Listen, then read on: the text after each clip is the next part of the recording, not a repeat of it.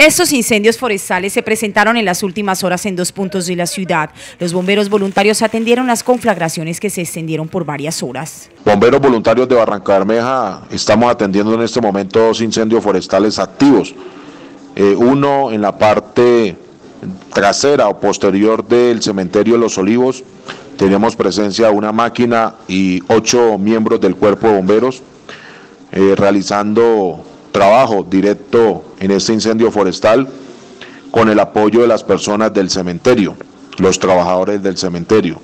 Asimismo, incendio forestal activo en lo que conocemos como Manhattan, este establecimiento que está eh, saliendo vía el retén, una máquina del Cuerpo de Bomberos Voluntarios y ocho bomberos realizando operación directa para ver si controlamos estos dos incendios forestales.